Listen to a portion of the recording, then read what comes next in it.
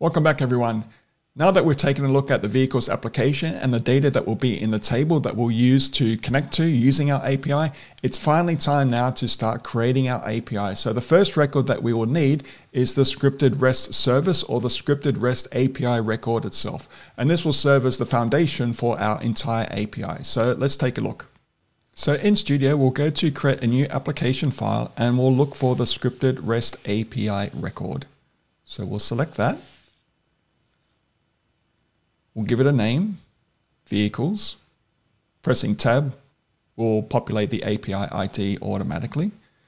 We've got some protection policies here. We won't look at these now, but some of them may be familiar to you already if you come from a scripting background in ServiceNow where you can restrict access to your scripts. So let's save that record.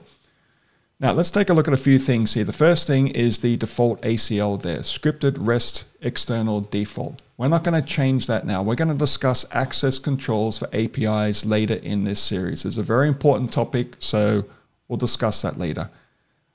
Under content negotiation, by default, the system will populate fields for the request and the response to accept both JSON and XML formats.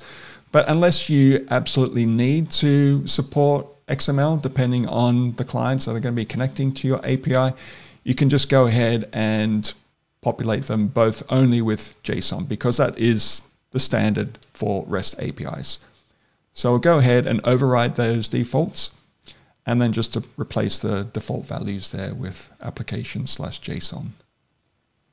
If we go to documentation, you can actually provide a link here to your API documentation. And I can't stress the importance of having good quality documentation for your API as with anything in software development, you really need quality documentation. Otherwise, your users won't know how to connect to the API. They won't necessarily know what to expect, what parameters they need to provide, etc., etc. So we'll need to provide documentation for that. If you want to have a look at a really good example of API documentation, go to the developer portal of ServiceNow and have a look at the API reference there. So what we can do here is for this simple demonstration, we'll just go ahead and create a new API page, a new UI page rather in ServiceNow. So we'll come to UI pages, we'll create a new record here, just so we've got something to put in that field in our API. And we'll give it a name, vehicles API documentation. We won't categorize it, we'll just leave it as general. We'll provide a short description here. And then we'll just go ahead and I'll just paste a, a very simple HTML, jelly, XML uh, text in here and save it. And we'll take a look at it after we provide the role that we need or that you will need to access this uh, UI page. So I'll just go ahead here and select our integration role, click OK.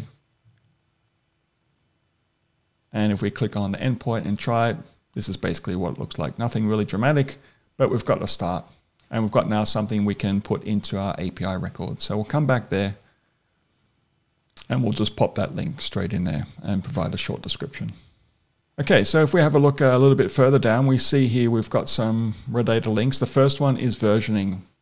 There's a separate video in this series on versioning, so we'll discuss that then. If we scroll a little bit further down, we've got a few different tabs here. The first one is resources, which we're going to discuss in the next video. Okay, the resource will be the HTTP methods that we'll use to get data, create data, delete data, etc. You can provide some request headers here, and you can also provide some query parameters, but we'll get to that later as well when we discuss the get method.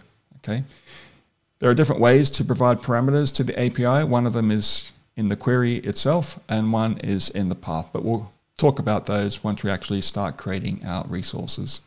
So that's it. We'll go ahead and update that.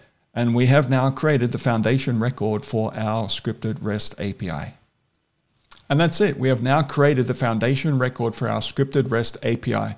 In the next video, we'll discuss resources.